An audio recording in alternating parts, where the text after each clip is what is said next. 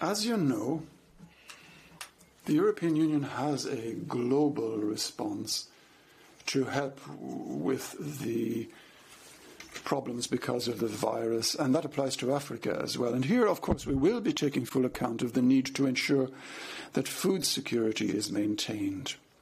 We're doing this together with the uh, African Development Fund and also those in the college responsible for humanitarian aid.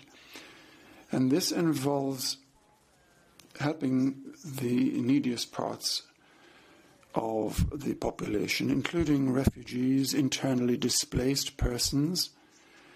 Obviously, there are quite a number of conflicts underway in Africa as well. So, here the European Union is doing its best to uh, tackle this question as well. Thank you, Anna.